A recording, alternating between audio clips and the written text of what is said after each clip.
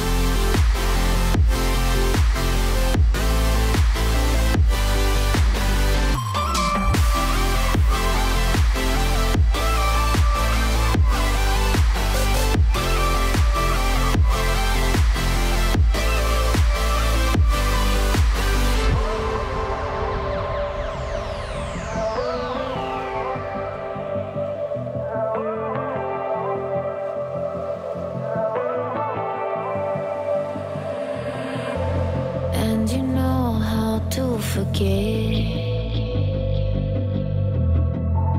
all the wrongs and every reason why we've changed.